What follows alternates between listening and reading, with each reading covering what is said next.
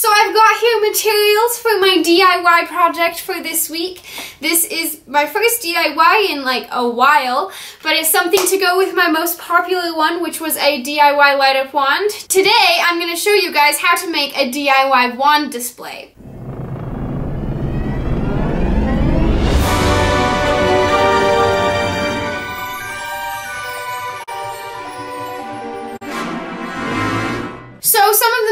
I've got here, this is just a board of wood. It's about one foot by two feet and then about half an inch thick. Then I've also got the other essential, which is some cup hooks or other type of hooks that you can put on the board. Honestly, that's just the basis of this entire thing, is a wood board with hooks on it. The ones I chose to use today are one and a quarter inch. I also got some 7 8 inch ones. I actually have those ones right here with me too.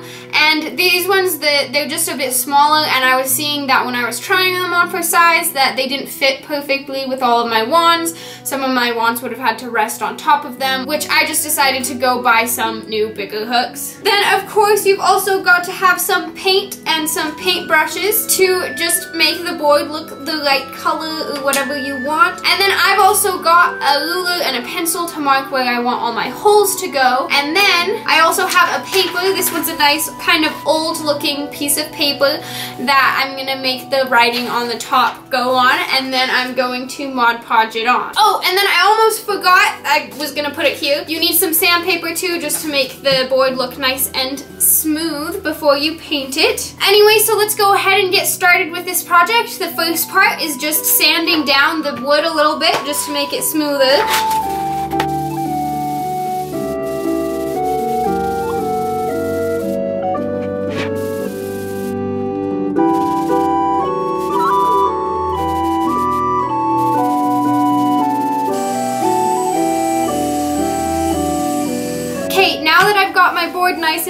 I'm just gonna go ahead and paint it.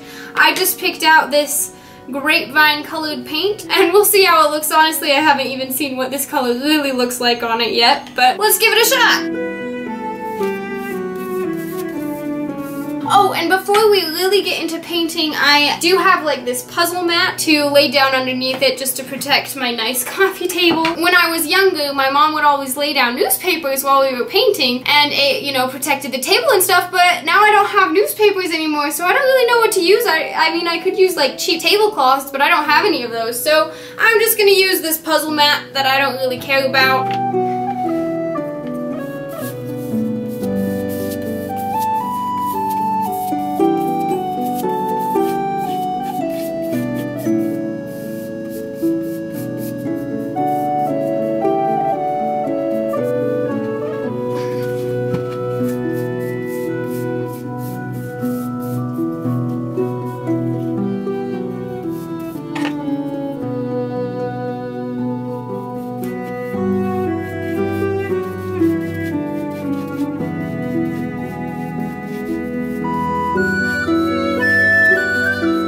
I just got this painted, just the top and the sides. You don't necessarily have to paint the back unless you want to since it's going to be hanging on a wall. But if you're going to put it up on like an easel or something, you'll want to paint the back just so it matches the whole thing.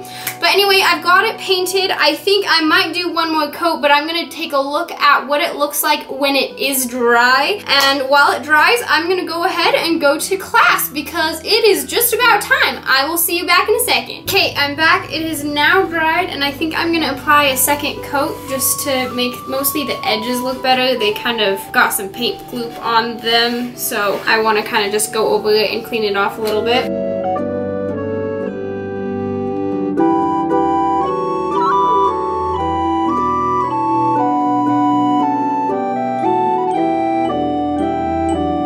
Okay, I've got the second coat painted. Now I just have to wait for this one to dry and then I can continue on with the rest of the project. Okay, now that the second coat has all dried, it's time to mark for where the hooks are gonna go in and get those in. What I've discovered with this size of wood that is about one foot wide. If you have the hooks in about two inches from the edges, the hooks will be a nice width apart for pretty much any size wands. For instance, these are two of my Ollivander originals. This one is the shortest wand I have, and I believe the shortest one they sell, at least when it comes to Universal Studios and official Harry Potter wands. And this is pretty much the longest one I've had, and I looked at it and it looks like at those distances it would work for both of these wand sizes. Then where to place them up and down with this piece of wood that is two feet long. If you start at the bottom and go up one inch and put the bottom hooks there and then have the hooks every two inches and do 10 rows of hooks, then it'll turn out pretty nicely and you'll still have a chunk at the top to put some words or something and that will be the last part. I did this before I painted it, but then I painted it so you couldn't really see this stuff before. So what I'm gonna do is I'm gonna use my paper to mark where the two inch line is. So then I only have to mark in the spots where I'm drilling so it's not gonna mess up my nice paint job.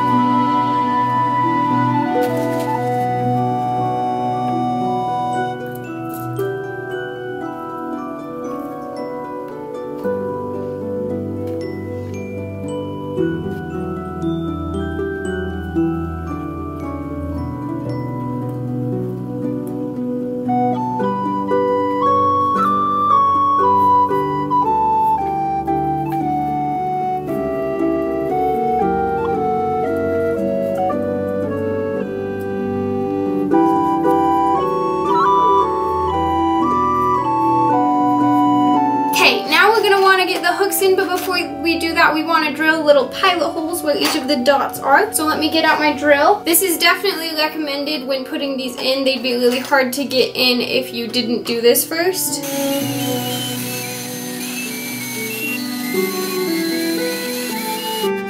Okay, now that we've got a board with some nice holes in it, we want to put the hooks on. So you can do this by hand, just twisting it in, although it does get kind of tight at the end. Um, when it gets to that point, if you do want it to go tighter, you can also use a screwdriver.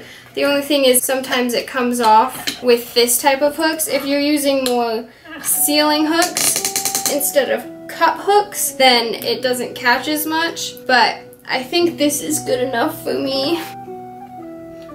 I'm just gonna go ahead and screw all these in. But yeah, if you do tilt it kind of at an angle so it's higher on the short end, then it stays on just fine.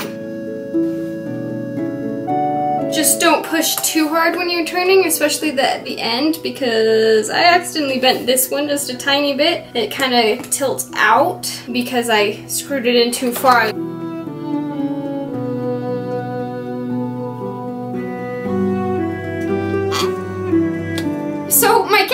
Died while I was screwing in those last few there. But it's okay, I got it charged now. And also while I was charging, I did one of the steps I hadn't talked about yet. I printed out the Ollivanders logo on to this nice old looking paper and then I am going to cut it out to be the right size for the top right there. It's funny, I feel like I keep on pulling up supplies from down there that I didn't have at the very beginning. I kind of just listed the basics and have grabbed a bunch of other things during this video. Before that real quick, I'm just gonna go ahead and wipe off all the sawdust from screwing in the, um, the hooks.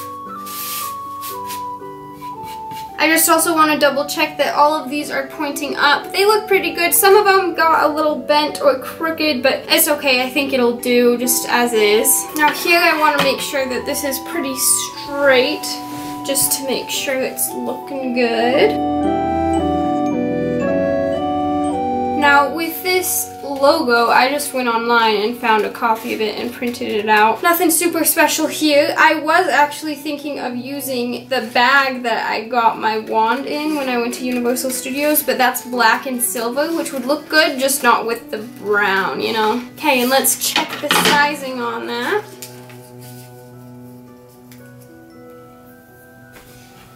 And my camera died again. Lol. Hopefully I'll be able to actually finish this time. Anyway, so I just cut the Ollivander um, sign for the top and so it's looking good so I'm just gonna go ahead and Mod Podge that on. Hopefully this Mod Podge works just fine because I found it in my old bedroom. it had never been opened or used or anything um, but it is probably fairly old.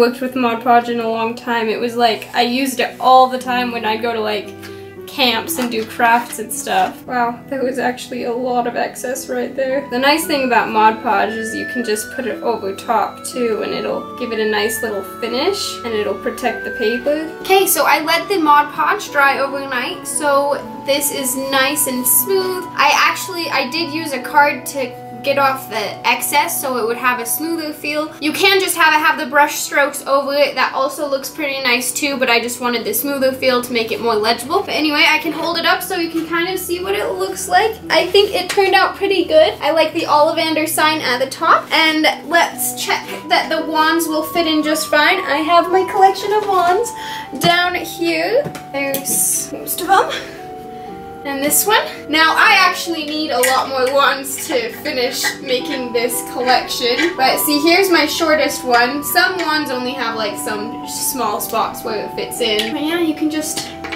stick each of them in. I like the one and one fourth size of hooks much better. I was trying to test it out and the 7 eighths of an inch ones, they just weren't big enough for some of them, particularly this one it was having struggles with and the Tina one it would have had to go all the way over not on the handle, you know?